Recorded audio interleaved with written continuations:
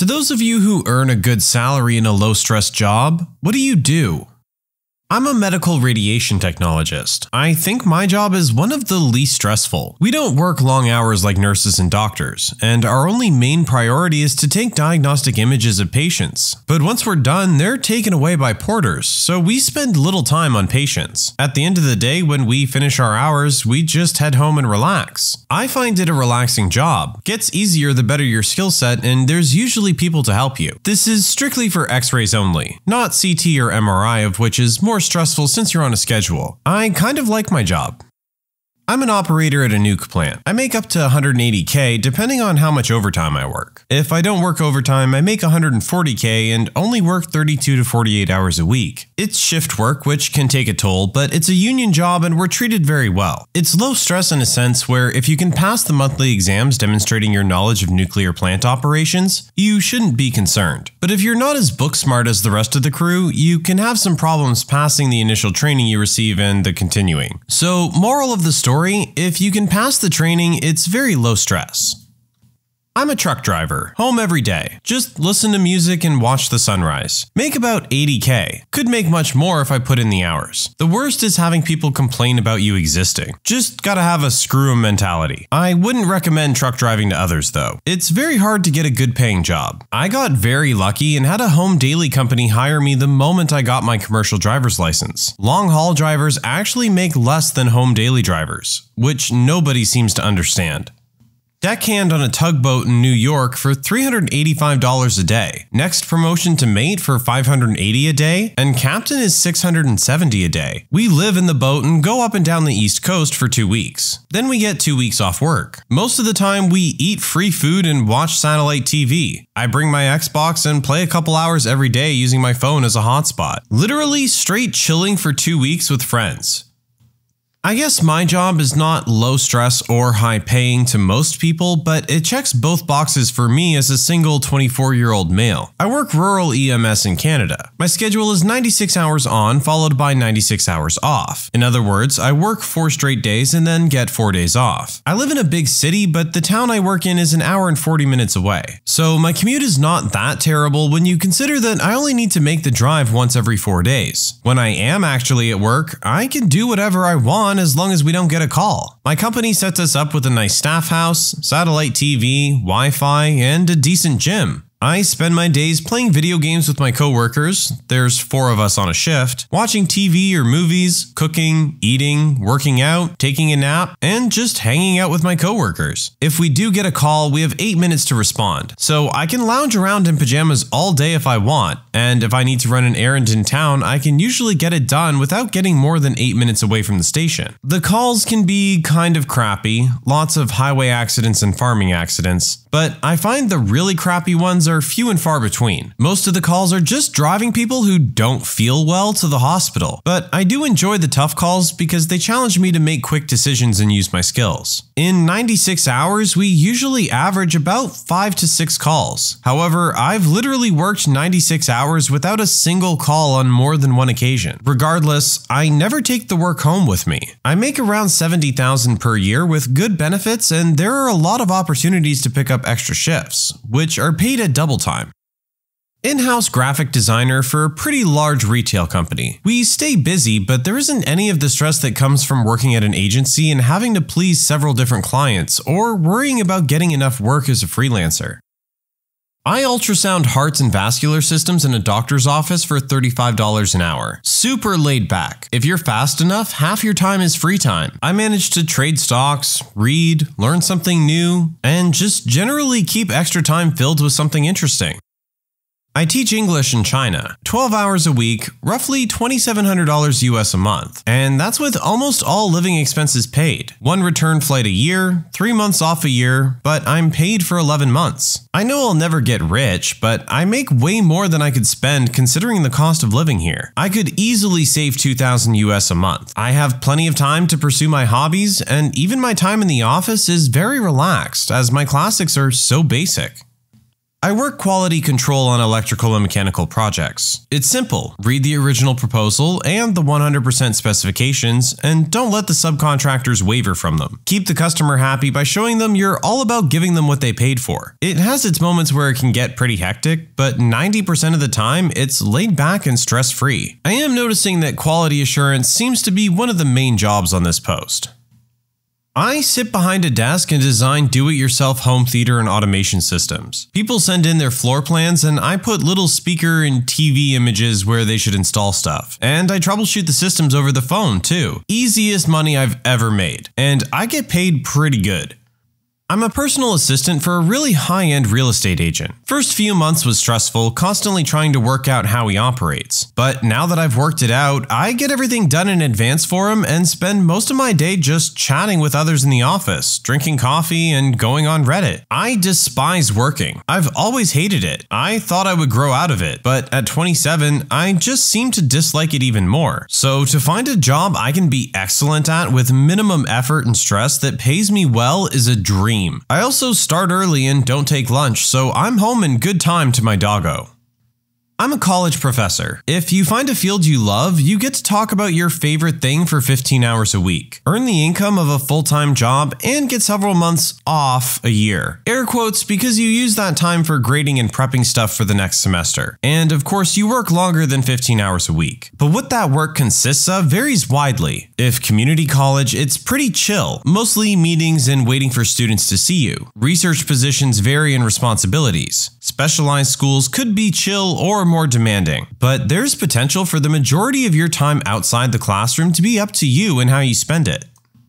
I'm a senior accountant for an oil and gas company. It's kind of a small family operated company. The president of the company takes very good care of the employees and their families in terms of compensation, bonuses, and benefits. Unlike other larger oil and gas companies that have been hit hard in recent years, this one is still very much in the black. Make no mistake, the actual work is very busy and fast paced. My career has advanced pretty fast here, going from knowing nothing about oil and gas industry to being one of the three most senior accountants here in just a few short years. Always something new to learn and skills to advance. Really, it's not just the career role itself that makes it low stress, but the place you work as well. The respect the company and people here have for each other is a rare find. Everyone loves their job, and the company is always pushing and making good on the ideal that employees are their biggest asset. Both people above and and below me are highly talented, respectful, and very easy to work with. I have to work a weekend every once in a while from home just to be sure my duties are done to the best of my ability. However, for the most part, I go in at 8 a.m. and leave at 5 p.m. and my job ends there. Very flexible, can work from home or leave early, and the trust that everyone's busting their butt is a big part of that. It's my dream job. After years of crappy ones inside and outside the field after graduating college, I got really lucky. A friend of mine makes 45,000 a year in marketing. His entire job is making a newspaper slash TV slash internet ad saying, who would like to try a new product? Sitting on his butt for several days waiting, then when people responds, he sorts them by if they should qualify or not. Guys can't test women's deodorant and things like that. That's the end of his job. Everything else is done by another group. He has hours of paid free time he uses to code and do side projects. He went to school for 8 years for math to get this job. I work data analytics. Today, I make 75k plus salary, good benefits, working Monday to Friday, 7 to 3:30 and all from home. Haven't worked a weekend or night or more than 40 hours in years. No commute, no traffic, no office drama, no dress code, no degree, no special training. Just an eye for patterns and fascination with data. Started my career 13 years ago doing outbound telemarketing for a credit card company. Nights and weekends for around $9 an hour. Basically the first job I could find with health insurance. About about once a year, I looked for something that was a little bit of a stretch and move for a raise, master the job, and move again. Going to school now for a degree only because my work will pay for it. I work as a landman in the oil and gas industry. While that title is sort of all inclusive and covers a ton of different jobs, I spend most of my time researching the history of property to see who's owned it for the past 150 years and what they've done with it. Things like are there any mortgages, oil and gas leases, easements, etc. Oil and gas companies want this information so they can determine who to lease slash pay when they drill for oil. All of this information is available in county courthouses, so I spend about half my time there reading old documents. The rest of the time, I'm able to work from home. It's a very chill job. I don't really have a boss, no one bothers me when I'm working, and courthouses can be almost like libraries sometimes. It's also a very rewarding job because you're sort of figuring out a puzzle and get to see something through to completion before moving on to your next project. There are sometimes deadlines and priorities, but they're never too bad for me, and I always hit them. It can also get stressful when there's no work or you have to move around, but I still think it's worth it. Generally, most people have a degree, but not always. It's very much an industry that still relies heavily on networking, and I know several people who do what I do and make great money without a degree. I've made over 100k a year for about 5 years now, and I've only been doing it for 7. I'm a petroleum geologist, six figure salary right out of school for a 40 hour a week job. It still involves some stress because of how much money rides on my educated guesses, but for the most part, us geologists love what we do and don't stress a whole lot. Just so you know, low stress doesn't always equate to low effort. Anyway, my official job title is senior producer, but it should probably be wearer of many hats. In a given day, I write, shoot, edit, and produce between 7 and 12 unique videos, along with all the associated assets, splash screens, and tie-in media. Said videos are then published to a handful of sites, after which I prepare and disseminate just over a dozen newsletters. Once that part's finished, I do back-end maintenance on a few of the pages in question, followed by some light community management. If I'm lucky, I'll get 15 minutes to rush out, grab lunch, and make my way back to the studio, after which I'll devote myself to editing the stories that our writers put together. That's followed by a focus on whatever one-off projects might be in the pipeline, which usually includes includes a fair amount of asset creation or adjustment, and a final look at the documentation associated with any of the above endeavors, which I'll update as necessary. When I finally leave at the end of the day, I'm exhausted. It's a lot of work, but I'm happy with the fact that I have creative control, and I'm pleased to be making something with an immediately visible end result. And most of all, I'm not bored. For me at least, there's nothing more stressful than boredom. I'm a carman. I inspect and repair freight cars. Most of the time, work is laid back and easy. Sometimes I have to work in crappy conditions like a heat wave or torrential rain or freezing temperatures. Sometimes I have to lift heavy stuff or do sustained hard labor, but those days are rare. Stress only comes when the yard is all messed up and the yardmaster wants us to magically unmess it, or when managers come snooping around to try and get you in trouble. Again, rare days. The job suits me and pays me enough to be comfortable. My schedule sucks, but they're hiring, so I'll finally have some seniority. I work for one of the world's largest board game companies. Most of my job is granting studios in other countries access to our files so they can translate them and sell them in their country's retailers and then pay us a royalty. I get to go on trips to check out their studios to make sure they're up to the job, go to a lot of game conventions, and literally am required to play games with the coworkers I love at least a couple times a week. The benefits are great, and being only two years out of college, the work experience and salary are good. I got my master's, and luckily enough, a friend of a friend just then needed someone who could do data analysis. So I moved to a small city in a poor state where most men graduate high school with little literacy or numeracy and end up going to work on farms or doing manual labor. I spend on average about 4 hours a day doing pretty basic calculations in Excel and get paid twice the average income for this town. It has its pros and cons. I meet tons of interesting people I wouldn't have otherwise come across, and I have a very different perspective perspective now on what I used to consider success, but it's also lonely, and I have a hard time relating my life to those people I meet. I work midnights as a direct support professional for people with developmental disabilities. 90% of the time I'm on Reddit or drawing or watching movies. Most of the time the guys in the group home are sleeping. It doesn't pay anything amazing, but 1025 plus benefits isn't all bad when all I have is a GED and a few hours of training. Some people couldn't do it, too nervous around people who are definitely not neurotypical. One of the guys right now a few feet away is just rapidly rocking in a recliner as he watches TV and occasionally occasionally making noises, which I just realized would freak a lot of people out. My full job title is Export Compliance Executive at a medical device company. Sounds fancy, but in reality, a distributor asks for a document which has already been compiled by someone else. I just copy and paste. It's fantastic. I'm a program coordinator for desk operations at a large university. Essentially, I manage all of the desks in the dorms on campus. This entails lots of student employees whom I relate quite well with at my ripe old age of 22. The job is mainly email chains and meetings with an occasional difficult conversation. I get university benefits and just under 40k. To be fair, my cost of living is dirt cheap. I'm a dog walker in Los Angeles. I see the same 10 dogs every day, every week. So it's like I have 10 dogs of my own. Since my clients are dogs, they're always happy to see me, which I will never take for granted after years and years in retail. I get to be outside in the sunshine, listen to lots of podcasts, and I'm walking all day. I'm no Rockefeller, but I work part time and it pays the bills and gives me a little extra money to play with. So I'm very grateful.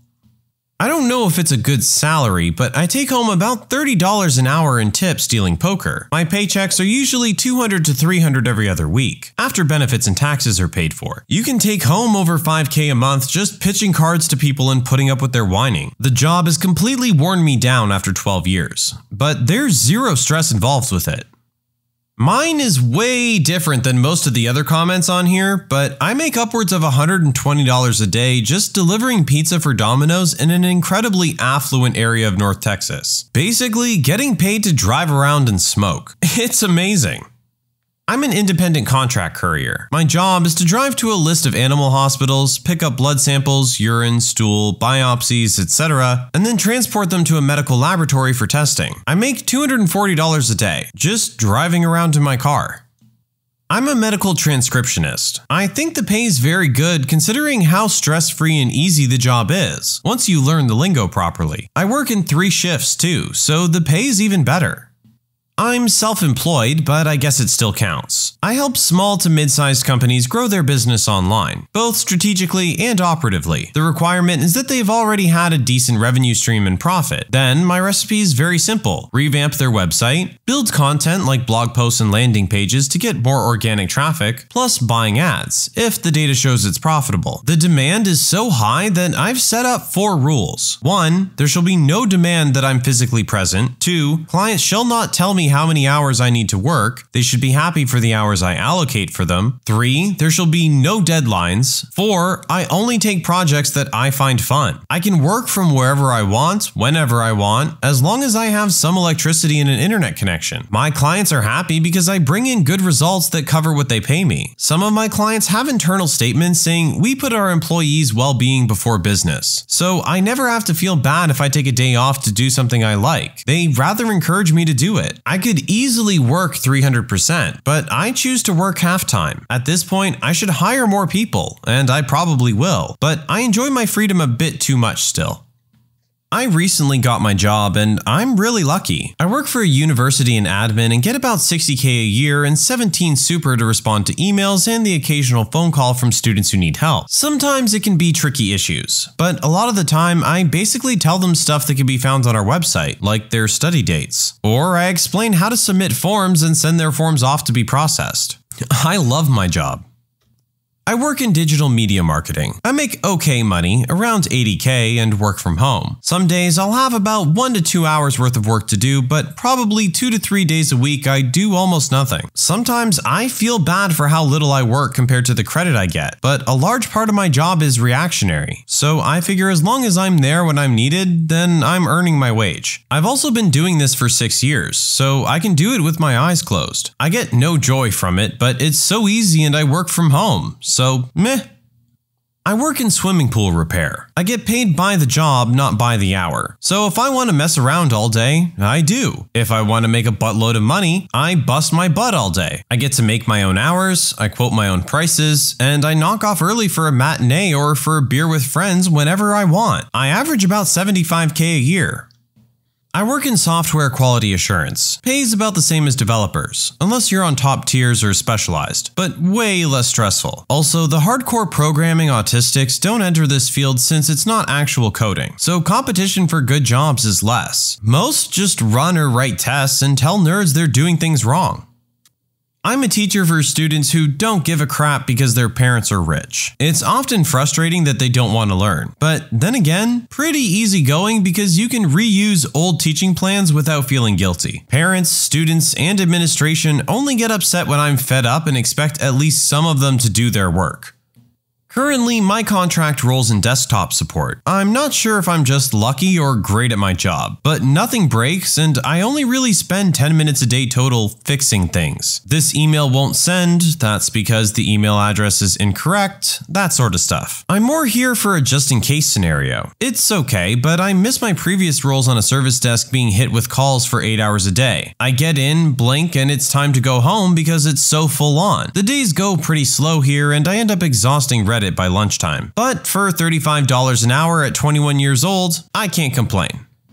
I'm a garbage man. I switch between a two man truck and the scale house at the transfer section. I make 50k a year to dump your trash and tell you where to dump your trash. It's a town job. We're one of maybe six towns in Connecticut that hasn't privatized trash collection.